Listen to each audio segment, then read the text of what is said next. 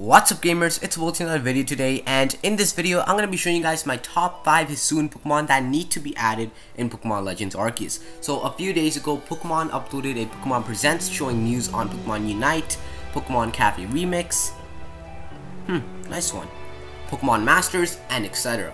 One of the games they gave news on is Pokemon Legends Arceus and they revealed a lot of information. One of the things they showed is that there will be Hisuian Pokemon, a new regional variant, and new evolutions. So in this video I'll be sharing with you guys 5 Hisuian Pokemon I want to see in Pokemon Legends Arceus. Starting off with number 5, Magnezone. Now I found this design on Twitter and I thought this looked very cool as an ancestral Magnemite line. And I'll show you guys what they look like on the screen right now.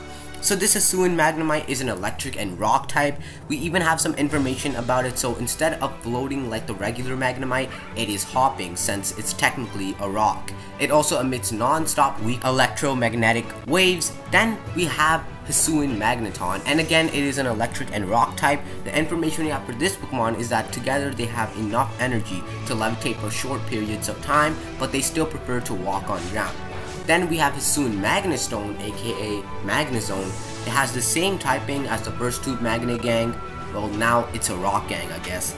Anyways, Magnestone is a lost evolution for Magnezone, and what's more interesting is its mysteriously intense power allowed this massively heavy body to levitate immediately. I really love these designs and love how when it evolves, it gradually starts levitating, which is pretty cool.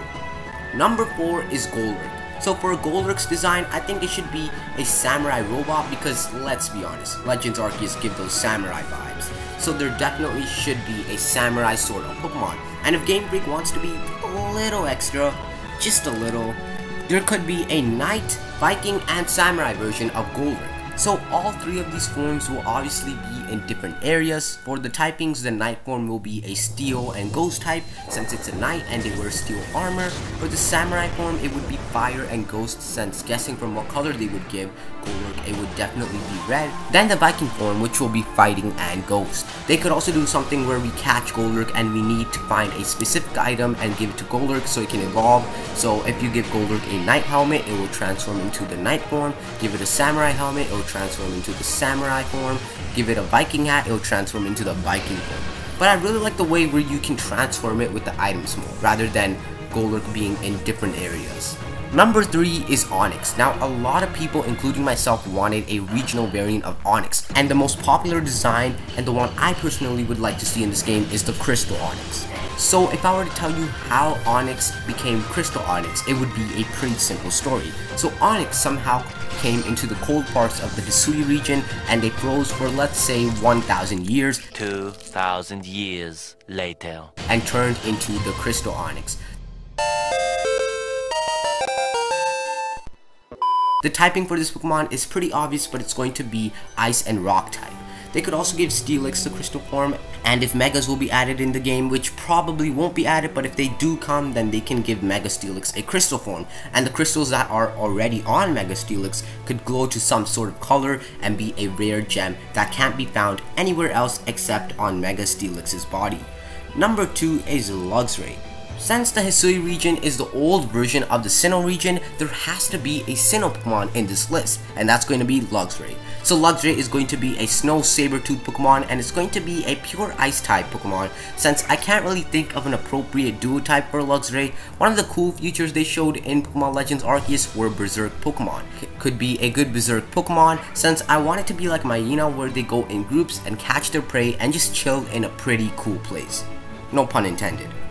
Now finally, number one is the starters in Pokemon Legends Arceus. So of course, there are three starters and they are Cyndaquil, Rowlet, and Oshawott. Now, of course, I don't think the Pokemon themselves will be Hisuian Pokemon, but rather its evolutions. So basically, it will evolve into its second stage, which is Dewott, Quilava, and Dartrix. Then either they just evolve into a new last stage starter rather than the original or they evolve into their original ways and they will transform into a new form and they can't switch back. Now, I don't think their typings will switch except for, of course, Typhlosion and Samurott since they don't have dual types like Decidueye and honestly, I really like the idea of a grass and ghost type just like almost everyone else and I just hope they don't change the typing in this game.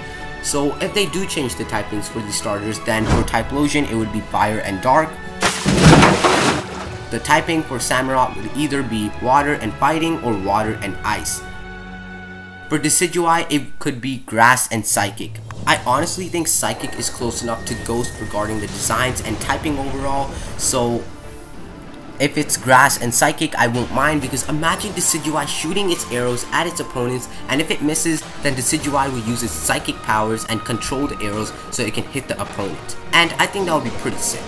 In regards to how they evolve into these new forms, it could either be an early stage of Mega Evolutions, but it's not fully capable to the point where it can't transform the Pokemon back, or you give some secret item or food and it'll transform into its ancestors, I guess which could probably relate to the story somehow, which will be very interesting. Anyway, so that's my top 5 Hisuian Pokemon that needs to be added in Pokemon Legends Arceus. And if you enjoyed this video, then please give this video a like. Comment down below what Pokemon you think will have Hisuian Pokemon and tell me some things about it and its typing. Also, please subscribe to this channel if you want to see more Pokemon Legends Arceus content in the future since I will be doing a lot of them, especially when it releases. But anyways, thanks for watching today's video and I'll be seeing you guys in the next one. Till then, stay safe and have an awesome day, gamers.